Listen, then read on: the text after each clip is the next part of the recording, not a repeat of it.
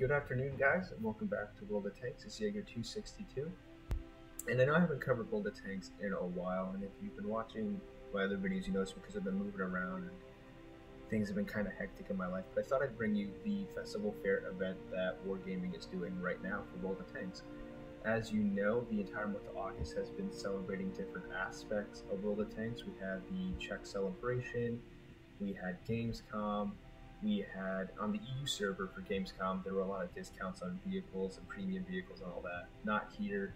We just had the Homefront event, and we just yesterday it came out with their Steel Hunter or Battle Royale version, which I will make a video of that soon. So stay tuned for that.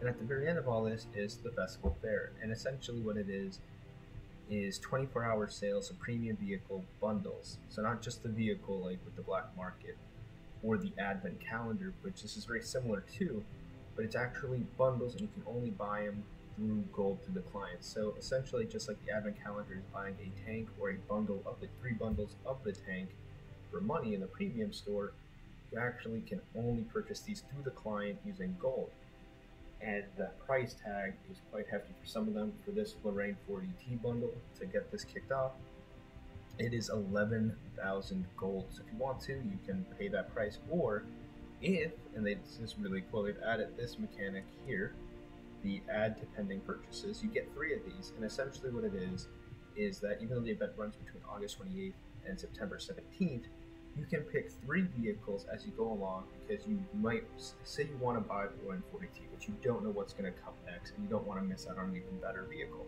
What you can do is just add them to the pending purchase list, and those vehicles will stay there. Again, you only get to do this three times, but it will stay there until September 22nd. So actually, a couple of days after the event ends, and you'll have until then to confirm your purchases, and you'll get all those vehicles. You won't actually lose out on them, which is quite nice. I personally won't be picking up the Lorraine 40T, but I thought that in this brief video I would just, you know, get back into World of Tanks and start covering news again. It's, it's a cool little event. I don't know what they're offering. I'm assuming it's going to be all the popular bundles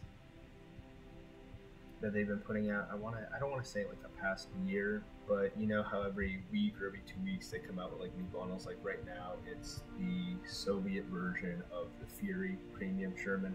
And so they do that a lot, and I can't remember the last time they did that for the Lorraine, but I feel like it'll just be those. However, again, it's reported that there will be some very rare vehicles showcased here, so stay tuned because I'll be making videos, just short little four or five minute videos each day of the vehicles that are available to you because you do only have 24 hours. Now, that includes adding to pending purchases. So, say you want to wait till tomorrow, you didn't hit the Lorraine today. Once you hit tomorrow, you cannot add Lorraine to pending purchases. The event for that particular tank is technically over. So keep that in mind, even if you're not going to go and buy it. Just be aware that you do have to add it to the list in the 24 hour period that you have.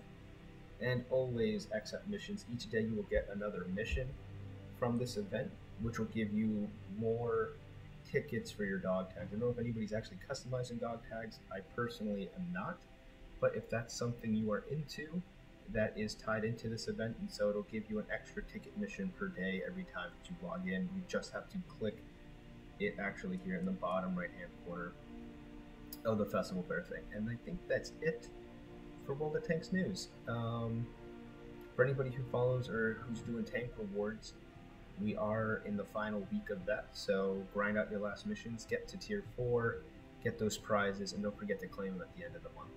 But I think that'll pretty much cover it. So as always, please give it a thumbs up if you enjoyed the content.